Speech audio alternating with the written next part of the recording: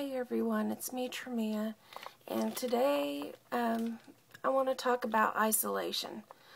Um, with lupus, isolation is so easy um, to just fall into uh, because there'll be times that we're put on bed rest, you know, being homebound, uh, like I'm not able to get out and drive and go do things you know, I'm basically I'm at home alone unless my husband happens to or happens he's home in the evening because he works during the day or um, my son's home. Uh, and I got used to being by myself. And I I even got to the point to where on the weekends I was so used to being by myself I would just keep myself shut up in my bedroom when they were home because I was so used to being alone. And that that's not good. Um, we need to have communication and friendships. You know, and speaking of friendships, you know, over the past years, I've lost some really good friendships because people don't know how to handle the chronic illness. Um, and especially with us, you know, at times being severely ill um, I think it scares them. And, you know, they just don't know what to do. And it's just not like, oh, you know, an acute illness, like I'm going to go in, have a surgery, have a couple of weeks recuperating time, and then I'm going to be okay and everything's back to normal. Lupus isn't that. You know, it's so. Um, you don't know what's going to be around the next corner. You don't know what's going to happen tomorrow. Um, you might be in remission, although I haven't ever been in remission. Um, you might be in remission one day and the next day be bedridden. And others, they just don't know how to cope with that.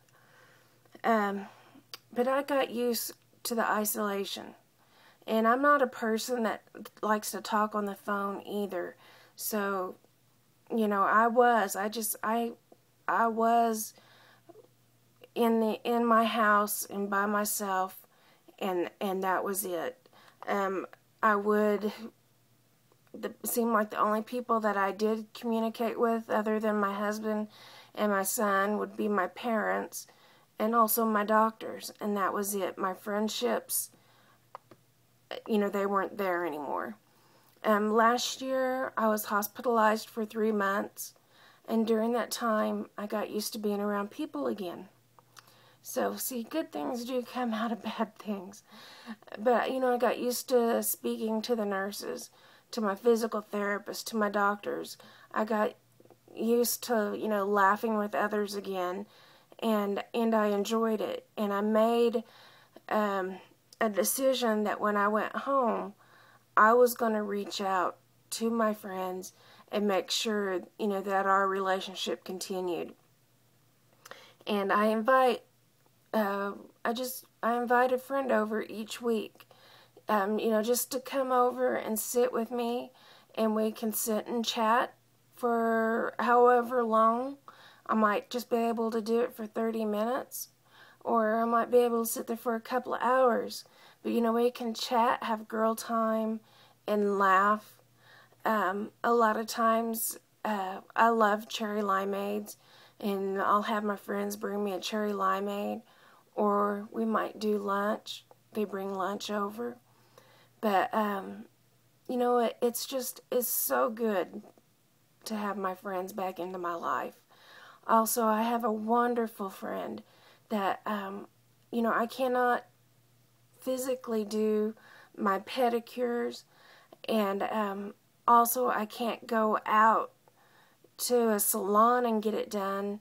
Um, for one, I just can't get there, and two, um, the germs. You know, I can't risk infection, and so she comes over. Um, you know, I'll text her and ask her, you know, when she can come over and do my my pedicure, and and she brings the stuff. I I have my own little kit, but she brings like a a foot soaking tub and everything, and she does my, my nails, and we just sit and we laugh and we talk about, you know, fun things or serious things, but we just sit and have a good time. And I and I make sure, you know, I I have at least one visitor a week that we just can sit and you know, just be friends and laugh and have girl time. So if you find yourself in isolation, um, it's not easy to get out of it because it, it wasn't for me. Um, it took me out of my comfort zone. But, you know, take the steps necessary. Take a deep breath. Um, keep on trying until you can get it done, till you can get a friend over. Um, and, you know, just once a week. And, I mean, it makes a world of difference.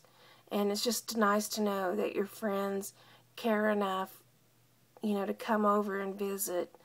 Um, the majority of the time, you know, they just, they know you're sick and they just, um, you know, don't want to bother you or, uh, you know, and, but you really need them in your lives.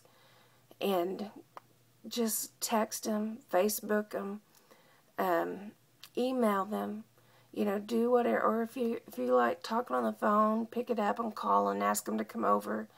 You know, don't worry about your house, um, what it looks like, or anything. They really don't care. They really want to visit you and have a good time. So keep yourself out of isolation and, you know, enjoy the companies of others. Um, that's all I've got. you know, um, we really need to have those that love us and that we love in our lives. So make the effort. I know it's hard. It was definitely hard for me. But make the effort. And it helps you.